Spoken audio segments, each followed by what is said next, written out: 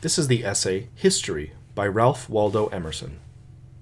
There is no great and no small to the soul that maketh all, and where it cometh all things are, and it cometh everywhere. I am the owner of the sphere, of the seven stars and the solar year, of Caesar's hand and Plato's brain, of Lord Christ's heart and Shakespeare's strain. There is one mind common to all individual men. Every man is an inlet to the same and to all of the same. He that is once admitted to the right of reason is made a freeman of the whole estate. What Plato has thought, he may think. What a saint has felt, he may feel. What at any time has befallen any man, he can understand. Who hath access to this universal mind is a party to all that is or can be done. For this is the only and sovereign agent. Of the works of this mind, history is the record. Its genius is illustrated by the entire series of days. Man is explicable by nothing less than all his history. Without hurry, without rest, the human spirit goes forth from the beginning to embody every faculty, every thought, every emotion which belongs to it in appropriate events. But the thought is always prior to the fact. All the facts of history pre exist in the mind as laws. Each law, in turn, is made by circumstances predominant, and the limits of nature give power to but one at a time. A man is the whole encyclopedia of facts. The creation of a thousand forests is in one acorn, and Egypt, Greece, Rome, Gaul, Britain, America lie folded already in the first man. Epoch after epoch, camp, kingdom, empire, republic, and democracy are merely the application of his manifold spirit to the manifold world. This human mind wrote history, and this must read it. The Sphinx must solve her own riddle. If the whole of history is in one man, it is all to be explained from individual experience. There is a relation between the hours of our life and the centuries of time. As the air I breathe is drawn from the great repositories of nature, as the light on my book is yielded by a star a hundred millions of miles distant, as the poise of my body depends on the equilibrium of centrifugal and centripetal, centripetal forces, so the hours should be instructed by the ages, and the ages explained by the hours. Of the universal mind, each individual man is one more incarnation. All its properties consist in him. Each new fact in his private experience flashes a light on what great bodies of men have done, and the crises of his life refer to national crises. Every revolution was first a thought in one man's mind, and when the same thought occurs to another man, it is the key to that era. Every reform was once a private opinion, and when it shall be a private opinion again, it will solve the problem of the age. The fact narrated must correspond to something in me to be credible or intelligible. We, as we read, must become Greeks, Romans, Turks, priest and king, martyr and executioner, must fasten these images to some reality in our secret experience, or we shall learn nothing rightly. What befell Asdrubal or Cesare Borgia is as much an illustration of the mind's powers and deprivations as what has befallen us. Each new law and political movement has a meaning for you. Stand before each of its tablets and say, Under this mask did my Proteus nature hide itself. This remedies the defect of our too great nearness to ourselves. This throws our actions into perspective, and as crabs, goats, scorpions, the balance and the water pot lose their meanness when hung as signs in the zodiac, so I can see my own vices without heat in the distant persons of Solomon, Alcibiades, and Catiline. It is the universal nature which gives worth to particular men and things. Human life, as containing this, is mysterious and, inviolable, and we hedge it round with penalties and laws. All laws derive hence their ultimate reason. All express more or less distinctly some command of this supreme, illimitable essence. Property also holds of the soul, covers great spiritual facts, and instinctively we at first hold to it with swords and laws and wide and complex combinations. The obscure consciousness of this fact is the light of all our day, the claim of claims, the plea for education, for justice, for charity, the foundation of friendship and love, and of the heroism and grandeur which belong to acts of self reliance. It is remarkable that involuntarily we always read as superior beings. Universal history, the poets, the romancers, do not in their stateliest pictures, in the sacerdotal, the imperial palaces, in the triumphs of will or of genius, anywhere lose our ear. Anyway, anywhere make us feel that we intrude, that this is for better men, but rather is it true that in their grandest strokes we feel most at home. All that Shakespeare says of the king, yonder slip of a boy that reads in the corner fields to be true of himself. We sympathize in the great moments of history, in the great discoveries, the great resistances, the great prosperities of men, because there law was enacted, the sea was searched, the land was found, or the blow was struck, for us, as we ourselves in that place would have done or applauded. We have the same interest in condition and character. We honor the rich because they have externally the freedom, power, and grace which we feel to be proper to man, proper to us. So all that is said of the wise man by Stoic or Oriental or modern essayist describes to each reader his own idea, describes his unattained but attainable self. All literature writes the character of the wise man. Books, monuments, pictures, conversations are portraits in which he finds the lineaments he is forming. The silent and the eloquent praise him and accost him, and he is stimulated wherever he moves as by personal allusions. A true aspirant therefore never needs look for allusions personal and laudatory in discourse. He hears the commendation, not of himself, but more sweet of that character he seeks. In every word that is said concerning character, yea, farther in every fact and circumstance, in the running river and the rustling corn. Praise is looked, homage tendered, love flows, from mute nature, from the mountains and the lights of the firmament. These hints, dropped as it were from sleep and night, let us use in broad day. The student is to read history, history, actively and not passively, to esteem his own life the text and books the commentary. Thus compelled, the muse of history will utter oracles, as never to those who do not respect themselves. I have no expectation that any man will read history aright who thinks that what was done in a remote age by men whose names have resounded far has any deeper sense than what he is doing today. The world exists for the education of each man. There is no age or state of society or mode of action in history to which there is not somewhat corresponding in his life. Everything tends in a wonderful manner to abbreviate itself and yield its own virtue to him. He should see that he can live all history in his own person.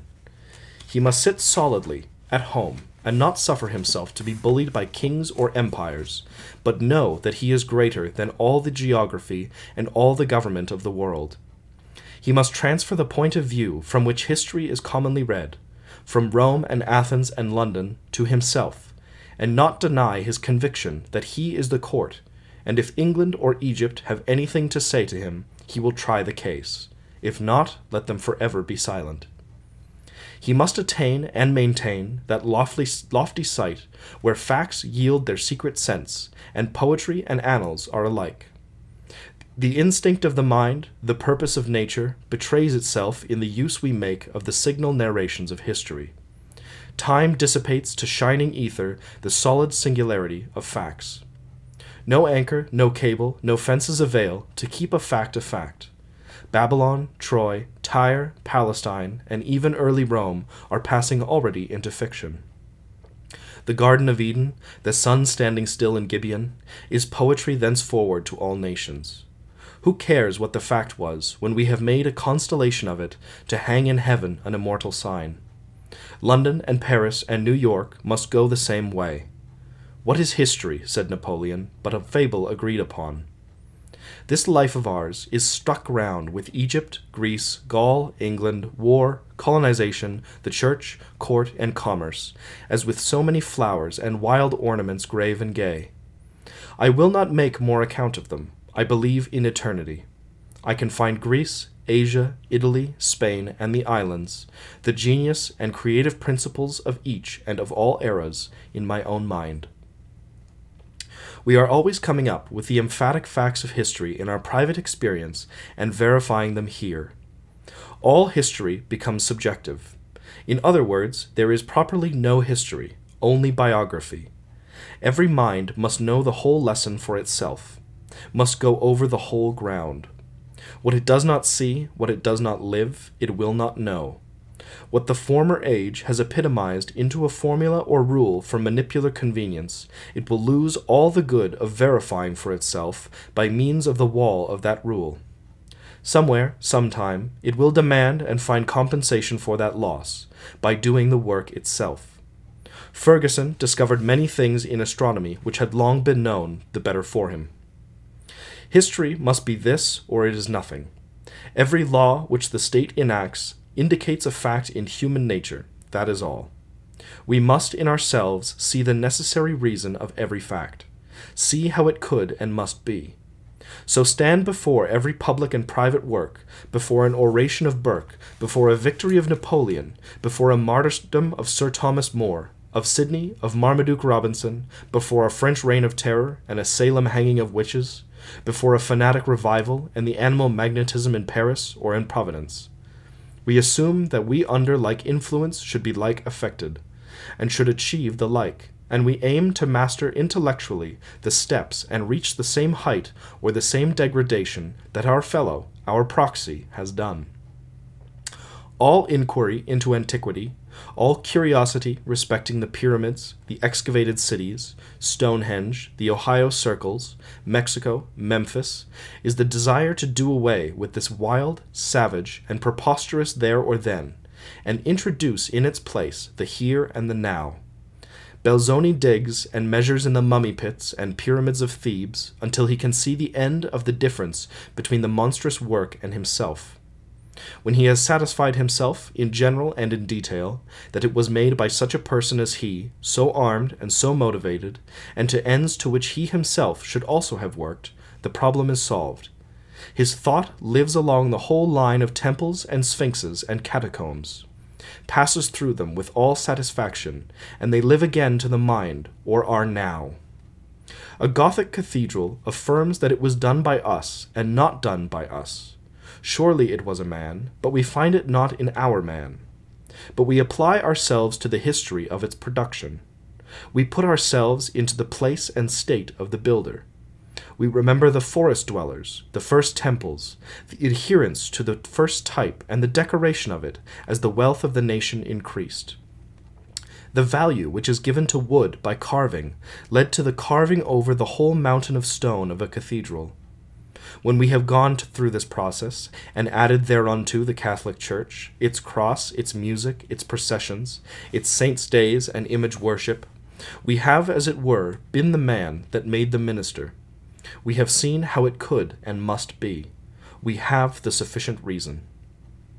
The difference between men is in their principle of association. Some men classify objects by color and size and other accidents of appearance others by intrinsic likeness, or by the relation of cause and effect.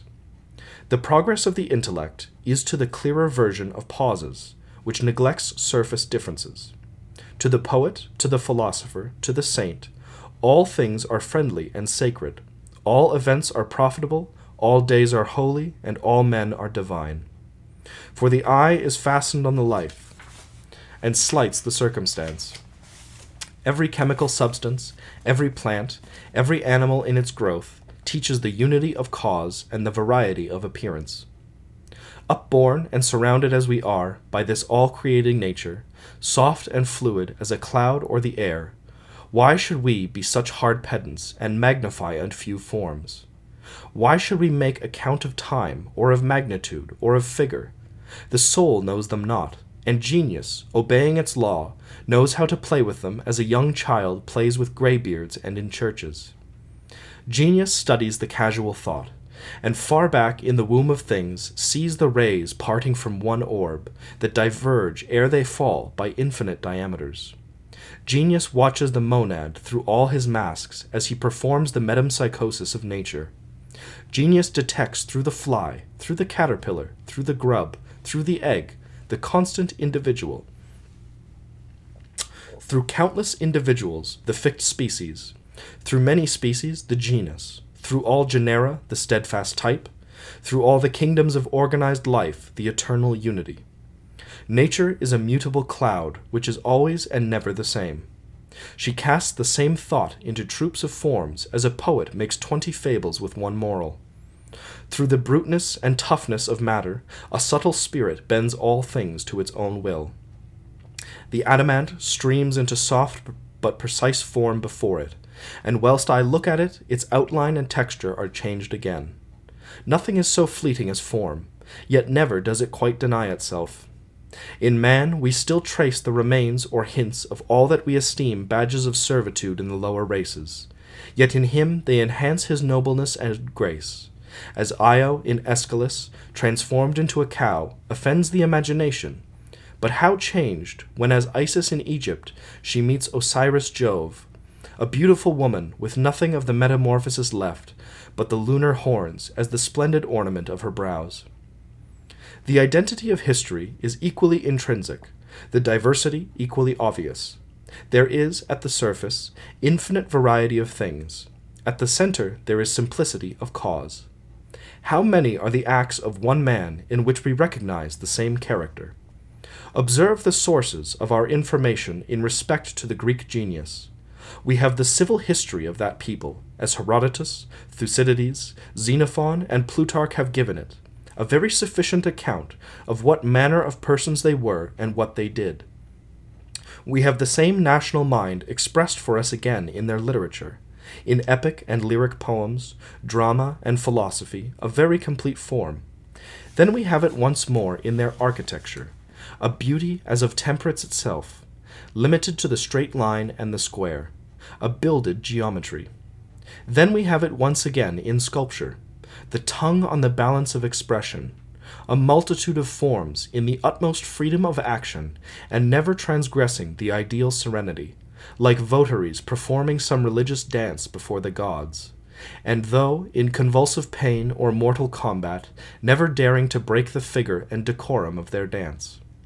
Thus, of the genius of one remarkable people, we have a fourfold representation and to the senses what more unlike than an ode of Pindar, a marble centaur, the peristyle of the Parthenon, and the last actions of Phocion.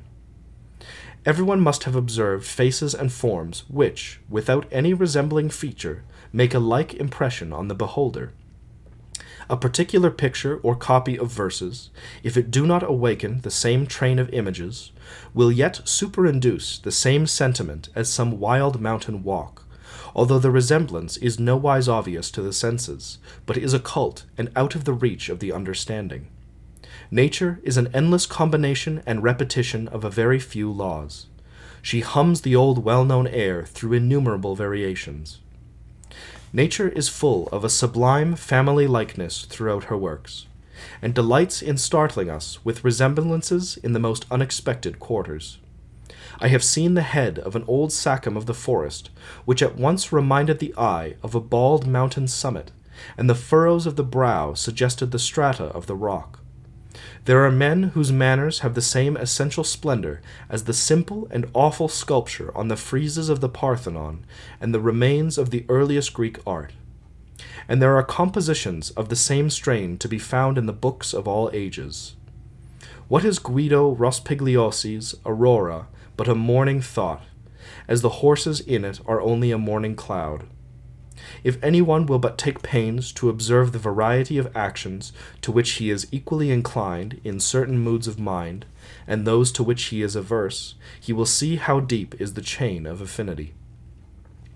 A painter told me that nobody could draw a tree without in some sort becoming a tree, or draw a child by studying the outlines of its form merely, but by watching for a time his motions and plays, the painter enters into his nature, and then can draw him at will in every attitude.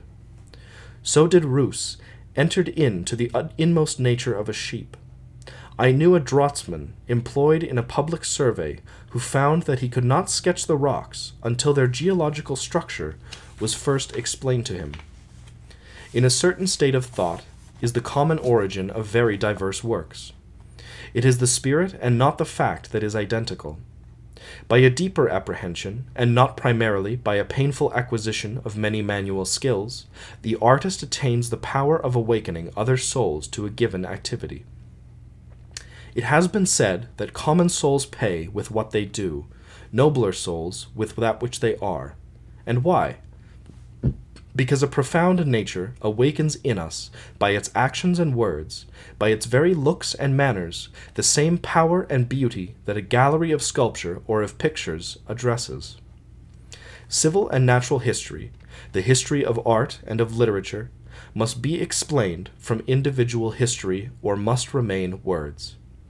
There is nothing but is related to us, nothing that does not interest us.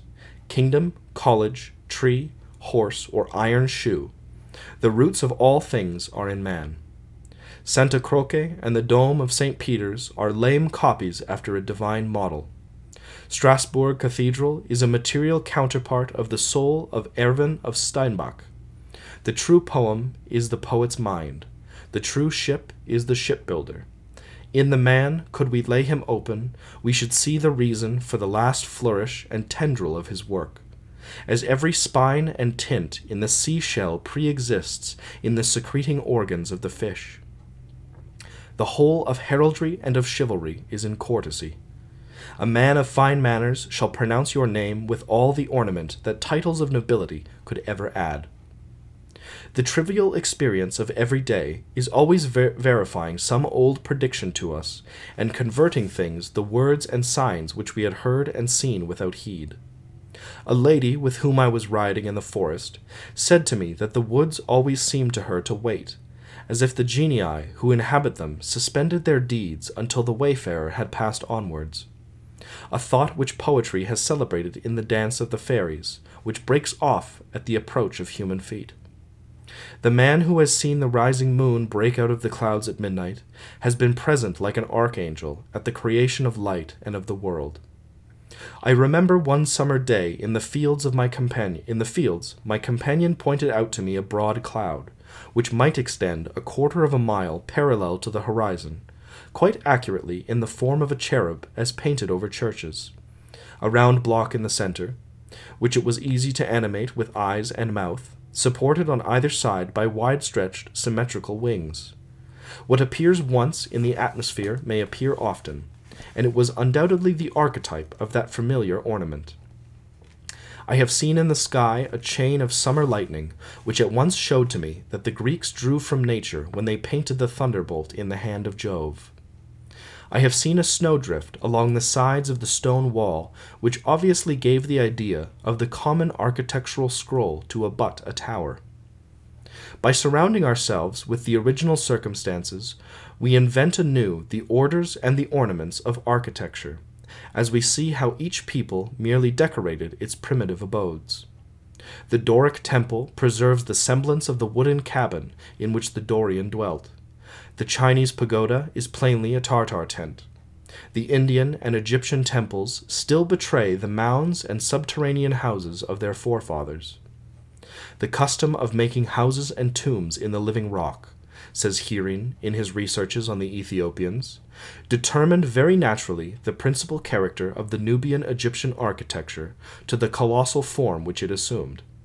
In these caverns, already prepared by nature, the eye was accustomed to dwell on huge shapes and masses, so that when art came to the assistance of nature, it could not move on a small scale without degrading itself. What would statues of the usual size, or neat porches and wings have been, associated with those gigantic halls before which only colossi could sit as watchmen or lean on the pillars of the interior? The Gothic church plainly originated in a rude adaptation of the forest trees, with all their boughs, to a festal or solemn arcade, as the bands about the cleft pillars still indicate the green withes that tied them. No one can walk in a road cut through pine woods without being struck with the architectural appearance of the grove, especially in winter, when the barrenness of all other trees shows the low arch of the Saxons. In the woods, in a winter afternoon, one will see as readily the origin of the stained glass window with which the Gothic cathedrals are adorned, in the colors of the western sky seen through the bare and crossing branches of the forest. Nor can any lover of nature enter the old piles of Oxford and the English cathedrals without feeling that the forest overpowered the mind of the builder, and that his chisel, his saw and plane, still reproduced its ferns, its spikes of flowers, its locust, elm, oak, pine, fir, and spruce. the Gothic cathedral is a blossoming in stone subdued by the insatiable demands of harmony in man. The mountain of granite blooms into an eternal flower with the lightness and delicate finish as well as the aerial proportions and perspective of vegetable beauty. In like manner, all public facts are to be individualized all private facts are to be generalized. Then at once history becomes fluid and true, and biography deep and sublime. As the Persian imitated in the slender shafts and capitals of his architecture the stem and flower of the lotus and palm, so the Persian court in its magnificent era never gave over the nomadism of its barbarous tribes, but traveled from Ecbatana, where the spring was spent, to Susa in summer, and to Babylon for the winter. In the early history of Asia and Africa, nomadism and agriculture are the two antagonistic facts. The geography of Asia and of Africa necessitated a nomadic life. But the nomads were the terror of all those whom the soil or the advantages of a market had induced to build towns. Agriculture, therefore, was a religious injunction because of the perils of the state from nomadism. And in these late and civil countries of England and America, these propensities still fight out the old battle, in the nation and in the individual. The nomads of Africa were constrained to wander by the attacks of the gadfly, which drives the cattle mad, and so compels the tribe to emigrate in the rainy season and to drive off the cattle to the higher sandy regions. The nomads of Asia follow the pasturage from month to month. In America and Europe, the nomadism is of trade and curiosity, a progress, certainly, from the gadfly of Astaboras to the Anglo and Italomania of Boston Bay, sacred cities to which a periodical religious pilgrimage was enjoined, or stringent laws and customs tending to invigorate the national bond, were the check on the old rovers, and the cumulative values of long residence are the restraints on the itinerancy of the present day. The antagonism of the two tendencies is not less active in individuals, as the love of adventure or the love of repose happens to predominate. A man of rude health and flowing spirits has the faculty of rapid domestication, lives in his wagon, and roams through all the latitudes as easy as a Kalmuck. At sea, or in the forest, or in the snow, he sleeps as warm, dines with as good an appetite, and associates as happily beside his own chimneys. Or perhaps his facility is deeper seated, in the increased range of his faculties of observation, which yield him points of interest wherever fresh objects meet his eyes. The pastoral nations were needy and hungry to desperation, and this intellectual nomadism, in its excess, bankrupts the mind through the dissipation of power on a miscellany of objects. The home-keeping wit, on the other hand, is that continence or content which finds all the elements of life in its own soil and which has its own perils of monotony and deterioration if not stimulated by foreign infusions. Everything the individual sees without him corresponds to his states of mind, and everything is in turn intelligible to him as his onward thinking leads him into the truth to which that fact or series belongs. The primeval world, or the foreworld, as the Germans say, I can dive to it in myself as well as grope for it with researching fingers in catacombs, libraries, and the broken reliefs and torsos of ruined villas. What is the foundation of that interest all men feel in Greek history, letters, art, and poetry, in all its periods from the heroic or Homeric age down to the domestic life of the Athenians and Spartans four or five centuries later? What but this, that every man passes personally through a Grecian period. The Grecian state is the era of the bodily nature, the perfection of the senses, of the spiritual nature unfolded in strict unity with the body. In it existed those human forms which supplied the sculptor with his models of Hercules, Phoebus, and Jove. Not like the forms abounding in the streets of modern cities, wherein the face is a confused blur of features, but composed of incorrupt, sharply defined, and symmetrical features, whose eye sockets are so formed that it would be impossible for such eyes to squint and take furtive glances on this side and on that, but they must turn the whole head. The manners of that period are plain and fierce. The reverence exhibited is for personal qualities courage, address, self command, justice, strength, swiftness, a loud voice, a broad chest. Luxury and elegance are not known. A sparse population and want make every man his own valet, cook, butcher, and soldier, and the habit of supplying his own needs educates the body to wonderful performances. Such are the Agamemnon and Diomed of Homer, and not far different is the picture Xenophon gives of himself and his compatriots in the retreat of the Ten Thousand. After the army had crossed the river Teleboas in Armenia, there fell much snow, and the troops lay miserably on the ground covered with it. But Xenophon arose naked, and taking an axe, began to split wood, whereupon others rose and did the like. Throughout his army exists a boundless liberty of speech. They quarrel for plunder. They wrangle with the generals on each new order, and Xenophon is as sharp tongued as any and sharper tongued than most, and so gives as good as he gets. Who does not see that this is a gang of great boys, with such a code of honor and such lax discipline as great boys have? The costly charm of the ancient tragedy, and indeed of all the old literature, is that the persons speak simply. They speak as persons who have great good sense without knowing it. Before yet, the reflective habit has become the predominant habit of the mind. Our admiration of the antique is not admiration of the old, but of the natural. The Greeks are not reflective, but perfect in their senses and in their health, with the finest physical organization in the world. Adults acted with the simplicity and grace of children. They made vases, tragedies, and statues such as healthy senses should, that is, in good taste. Such things have continued to be made in all ages, and are now wherever a healthy physique is, exists. But as a class, from their superior organization, they have surpassed all. They combine the energy of manhood with the engaging unconsciousness of childhood. The attraction of these manners is that they belong to man, and are known to every man in virtue of his being once a child. Besides that, there are always individuals who retain these characteristics. A person of childlike genius and inborn energy is still a Greek, and revives our love of the muse of Hellas. I admire the love of nature in Philoctetes.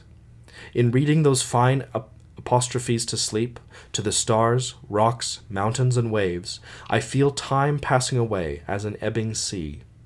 I feel the eternity of man, the identity of his thought. The Greek had, it seems, the same fellow beings as I. The sun and moon, water and fire, met his heart precisely as they meet mine. Then the vaunted distinction between Greek and English, between classical and romantic schools, seems superficial and pedantic. When a thought of Plato becomes a thought to me, when a truth that fired the soul of Pindar fires mine, time is no more. When I feel that we two meet in a perception, that our two souls are tinged with the same hue, and do as it were run into one, why should I measure degrees of latitude, why should I count Egyptian years? The student interprets the age of chivalry by his own age of chivalry, and the days of maritime adventure and circumnavigation by quite parallel miniature experiences of his own. To the sacred history of the world he has the same key. When the voice of a prophet out of the deeps of antiquity merely echoes to him a sentiment of his infancy, a prayer of his youth, he then pierces to the truth through all the confusion of tradition and the caricature of institutions. Rare, extravagant spirits come by us at intervals, who disclose to us new facts in nature. I see that men of God have from time to time walked among men and made their commission felt in the heart and soul of the commonest hearer.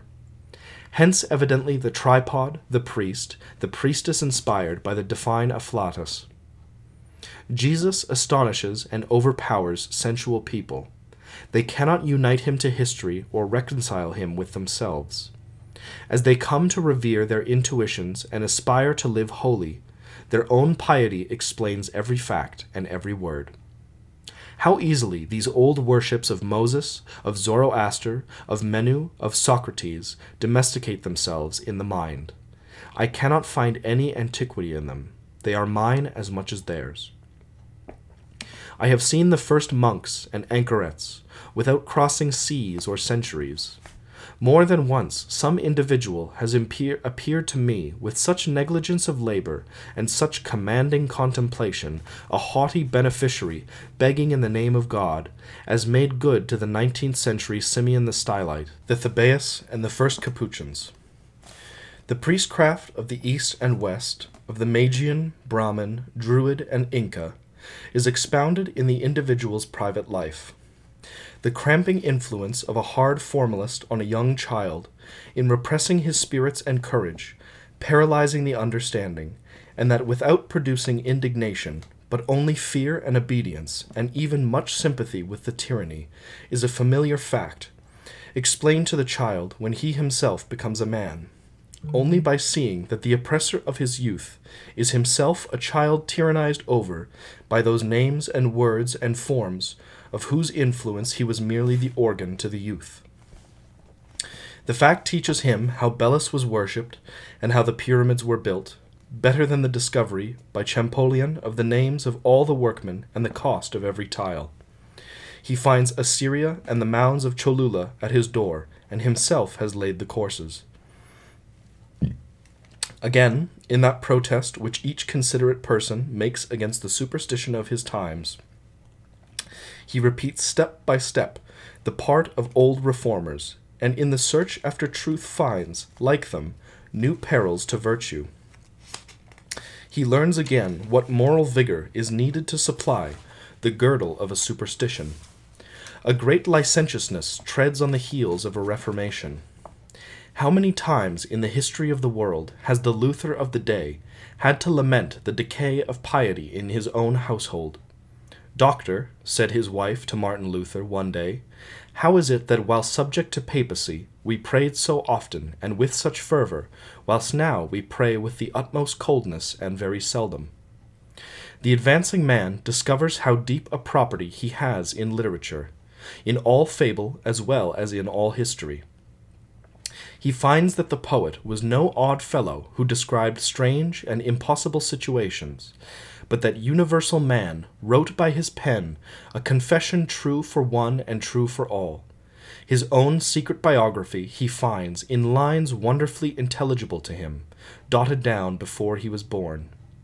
One after another he comes up in his private adventures with every fable of Aesop, of Homer, of Hafiz, of Ariosto, of Chaucer, of Scott, and versifies them with his own head and hands. The beautiful fables of the Greeks, being proper creations of the imagination and not of the fancy, are universal verities. What a range of meanings and what perpetual pertinence has the story of Prometheus!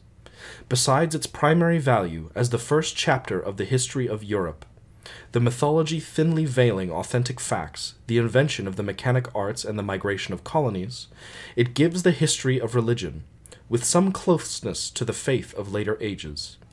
Prometheus is the Jesus of the old mythology. He is the friend of man, stands between the unjust justice of the eternal Father and the race of mortals, and readily suffers all things on their account. But where it departs from the Calvinistic Christianity, and it exhibits him as the defier of Jove, it represents a state of mind which readily appears wherever the doctrine of theism is taught in a crude, objective form, and which seems the self defense of man against this untruth, namely, a discontent with the believed fact that a God exists, and a feeling that the obligation of reverence is onerous. It would steal, if it could, the fire of the Creator, and live apart from him and independent of him. The Prometheus Vinctus is the romance of skepticism. Not less true to all time are the details of that stately apologue. Apollo kept the flocks of Admetus, says the poets. When the gods came among men, they are not known. Jesus was not. Socrates and Shakespeare were not. Antaeus was suffocated by the gripe of Hercules, but every time he touched his mother earth, his strength was renewed. Man is the broken giant, and in all his weakness, both his body and his mind are invigorated by habits of conversation with nature. The power of music, the power of poetry, to unfix and as it were clap wings to solid nature, interprets the riddle of Orpheus. The philosophical perception of identity through endless mutations of form makes him know the Proteus. What else am I who laughed or wept yesterday, and slept last night like a corpse, and this morning stood and ran? And what see I on any side but the transmigrations of Proteus? I can symbolize my thought by using the name of any creature, of any fact, because every creature is man agent or patient. Tantalus is but a name for you and me. Tantalus means the impossibility of drinking the waters of thought, which are always gleaming and waving within sight of the soul. The transmigration of souls is no fable. I would it were, but men and women are only half human. Every animal of the barnyard, the field, and the forest, of the earth and of the waters that are under the earth, has contrived to get a footing, and to leave the print of its features and form in some one or other of these upright, heaven facing speakers. Ah, brother, stop the ebb of thy soul, ebbing downward into the forms into whose habits thou hast now for many years slid. as near and proper to us is also that old fable of the Sphinx who was said to sit in the roadside and put riddles to every passenger. If the man could not answer, she swallowed him alive. If he could solve the riddle, the Sphinx was slain. What is our life but an endless flight of winged facts or events? In splendid variety these changes come, all putting questions to the human spirit. Those men who cannot answer by a superior wisdom these facts or questions of time serve them. Facts encumber them, tyrannize over them, and make the men of routine, the men of sense, in whom a literal obedience to facts has extinguished every spark of that light by which man is truly man. But if the man is true to his better instincts or sentiments, and refuses the dominion of facts, as one that comes of a higher race, remains fast by the soul, and sees the principle, then the facts fall aptly and supple into their places, they know their master, and the meanest of them glorifies him. See in Goethe's Helena the same desire that every word should be a thing. These figures, he would say, these Chirons, Griffins, Phorcys, Helen, and Leda, are somewhat and do exert a specific influence on the mind. So far, then, are they eternal entities, as real today as in the first Olympiad. Much revolving them, he writes out freely his humor, and gives them body to his own imagination. And although that poem be as vague and fantastic as a dream, yet is it much more attractive than the more regular dramatic pieces of the same author, for the reason that it operates a wonderful relief to the mind from the routine of customary images, awakens the reader's invention and fancy by the wild freedom of the design, and by the unceasing succession of brisk shocks of surprise. The universal nature, too strong for the petty nature of the bard, sits on his neck and writes through his hand, so that when he seems to vent a mere caprice and wild romance, the issue is an exact allegory. Hence Plato said that poets utter great and wise things which they do not themselves understand. All the fictions of the Middle Age explain themselves as a masked or frolic expression of that which in grave earnest the mind of that period toiled to achieve. Magic and all that is ascribed to it is a deep presentiment of the powers of science. The shoes of swiftness, the sword of sharpness, the power of subduing the elements, of using the secret virtues of minerals, of understanding the voices of birds, are the obscure effort of the mind in a right direction. The preternatural prowess of the hero, the gift of perpetual youth, and the like, are alike the endeavor of the human spirit to bend the shows of things to the desires of the mind.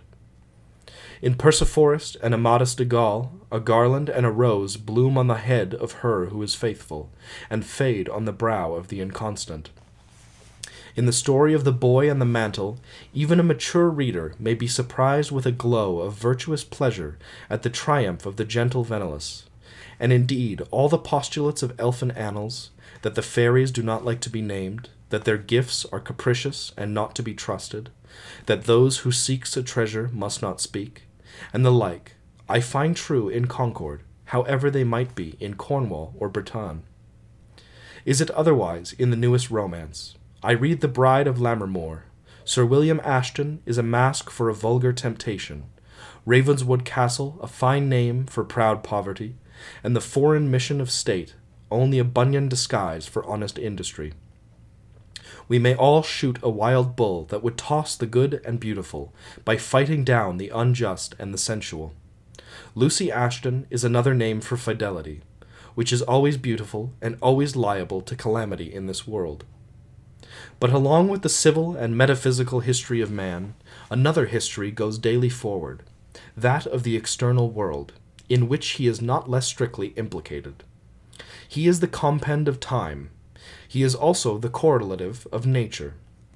His power consists in the multitude of his affinities, in the fact that his life is intertwined with the whole chain of organic and inorganic being. In old Rome, the public roads, beginning at the Forum, proceeded north, south, east, and west to the center of every province of the empire, making each market town of Persia, Spain, and Britain pervious to the soldiers of the capital. So out of the human heart go, as it were, highways to the heart of every object in nature, to reduce it under the dominion of man. A man is a bundle of relations, a knot of roots, whose flower and fruitage is the world. His faculties refer to natures out of him, and predict the world he is to inhabit, as the fins of the fish foreshow that water exists, or the wings of an eagle in the egg presuppose air. He cannot live without a world. Put Napoleon in an island prison. Let his faculties find no men to act on, no Alps to climb, no stake to play for, and he would beat the air and appear stupid. Transport him to large countries, dense population, complex interests, and antagonist power, and you shall see that the man Napoleon, bounded that is by such a profile and outline, is not the virtual Napoleon. This is but Talbot's shadow. His substance is not here, for what you see is but the smallest part, and least proportion of humanity. But were the whole frame here, it is of such a such a spacious, spacious, lofty pitch, your roof were not sufficient to contain it. Columbus needs a planet to shape his course upon. Newton and Laplace need myriads of age and thick strewn celestial areas. One may say a gravitating solar system is already prophesied in the nature of Newton's mind. Not less does the brain of Davy or of Gay Lussac, from childhood exploring the affinities and repulsions of particles, anticipate the laws of organization. Does not the eye of the human embryo predict the light? The ear of Handel predict the witchcraft of harmonic sound? Do not the constructive fingers of Watt, Fulton, Whittemore, Arkwright predict the fusible, hard, and temperable texture of metals, the property of stone, water, and wood? Do not the lovely attributes of the maiden child predict the refinement and decorations of civil society? Here also we are reminded of the action of man on man. A mind might ponder its thoughts for ages, and not gain so much self knowledge as the passion of love shall teach it in a day. Who knows himself before he has been thrilled with indignation at an outrage, or has heard an eloquent tongue, or has shared the throb of thousands in a national exultation or alarm? No man can antedate his experience, or guess what faculty or feeling a new object shall unlock, any more than he can draw today the face of a person whom he shall see tomorrow for the first time. I will not now go beyond the general statement to explore the reason of this correspondency.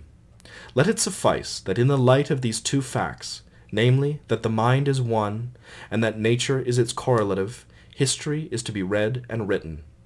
Thus, in all ways, does the soul concentrate and reproduce its treasures for each pupil.